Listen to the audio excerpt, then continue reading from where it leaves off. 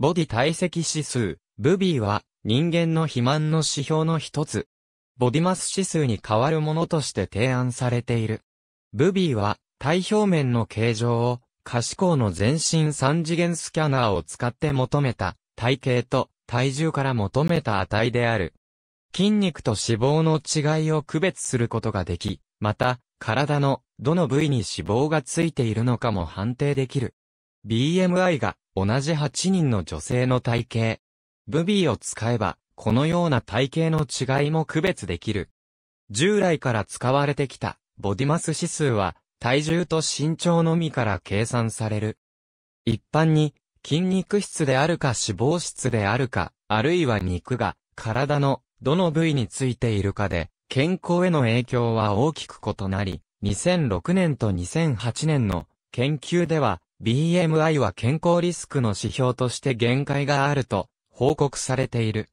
それに対し、ブビーは全身の3次元スキャンデータと体重を測り、過去に得られた統計データと比較することで、脂肪と筋肉のつき方を求める。ブビーの測定で、胴やウエストヒップ比も同時に求まる。ウエストとヒップの値も自動スキャンの方が手動測定よりも正確で再現性があるとされる。ボディ容積指数の元となる研究は1997年、イギリスバーミンガムの調査会社、セレクトリサーチ社により始められた。同社はもともと人間の体型に関する統計データを提供していた。三次元スキャナを使って体型を数値化する検討は2000年1月から始められた。ブビーの研究はイギリスで3年間行われたボディベンチマーク研究プロジェクトの一環として続けられた。予備検討を除く最初の研究はバーミンガムのハートランド国民医療制度病院で行われ、さらに、イギリス国立物理学研究所でも行われた。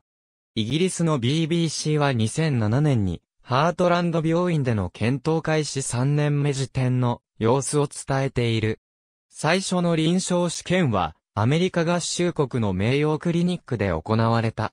2008年には減量プログラムの目標の一つに、ブビーを使う研究が発表されている。その後、イギリスのアストン大学でも、アドバンテージウエストミッドランズとインデックスによるバウチャー計画からの資金提供で研究が行われ、その成果は2010年10月にイギリスのバーミンガムで発表された。現在、この用途でのブビーの語は、イギリスのセレクトリサーチ社がヨーロッパで商標登録をしている。ありがとうございます。